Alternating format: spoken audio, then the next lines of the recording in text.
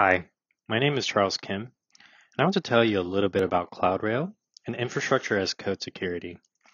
Over the last three years, the design and management of cloud infrastructure is increasingly being handled by infrastructure as code technologies like Terraform. The challenge with adopting infrastructure as code, or IAC for short, is that the process for evaluating IAC against an organization's security requirements is still manual. This is error prone and does not scale. The problem is that most cloud security vendors have designed their tools to be reactive. These types of solutions significantly reduce the benefits of using IAC. Recently, the open source community has introduced a lot of options to help with these concerns. While these solutions are good, they have two major shortcomings that large organizations typically face today. Number one, they only look at Terraform files themselves and do not take into account existing cloud environments, or the use of modules and variables.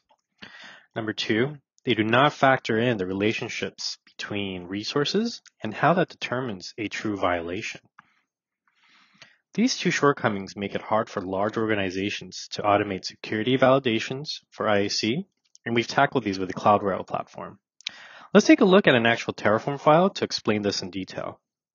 Now here, someone in my team constructed a basic two-tier web service in Terraform. I have a public-facing web server and an RDS instance defined in the private subnet. In order for the web server to reach the RDS instance, it should route to the private subnet. Pretty straightforward, right? Well, let's have CloudRail take a pass through the Terraform file. Since we just want to see what CloudRail would identify, we can just run CloudRail CLI and run in detect mode which is on by default.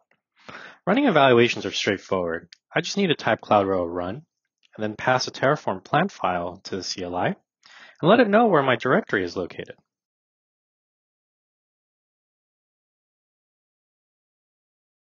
Now let's look at the results of the evaluation here. CloudRail has identified that the RDS is indirectly accessible from the EC2. How is this possible? If you look at the evidence field, CloudRail explains all the network relations in detail. In this case, it turns out that the RDS also belongs to the same subnet as the EC2 instance, and the EC2 is internet exposed. Doing these types of evaluations become increasingly problematic as the environment grows. In some cases, we've seen organizations have over 30,000 objects running in production. Imagine trying to review something like that regularly. Running into violations like this can be rather common.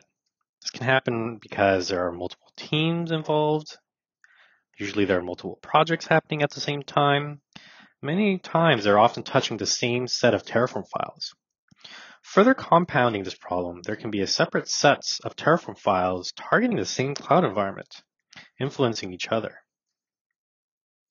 CloudRail is able to handle all of this because it is ingesting the plan file and taking your live and build environment into our context database. What is context? CloudRail maintains a graph database that tracks resource relations within the context of the network and IAM space. In doing so, we naturally understand how one cloud resource has access to another resource. We can answer simple yet convoluted questions like, what makes any resource exposed to the public? Before a customer deploys a misconfiguration. At Indeni, we have grown a team of security experts that analyze potential attack patterns for you. Because we can see how the existing environment is built and is planned to be built, we can help our customers harden their perimeter before they even deploy their environment. Obviously, most organizations have environments much bigger than the one I showed, and most are continuing to grow. Once our users have a clear assessment on what security violations are important to them, they can use CloudRail to enforce their requirements within their CI/CD pipelines. Take CloudRail for a spin. You can find us on GitHub where you can try CloudRail on your own.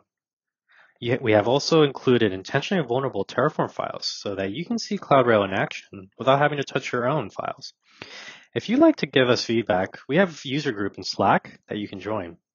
Send over an email and we'll add you to the group shortly. Thank you.